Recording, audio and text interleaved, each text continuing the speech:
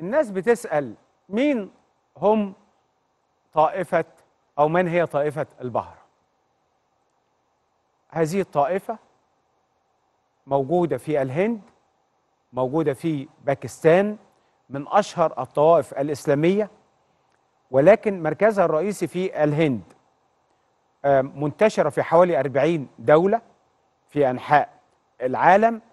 دخلوا مصر بداية دخولهم مصر في أوائل الستينات تقريبا يعني كان عدد مئات ما زالوا موجودين. هم عادة أو معظمهم بيشتغلوا في التجارة. حتى اللي موجودين في مصر معظمهم بيشتغلوا في آه، التجارة.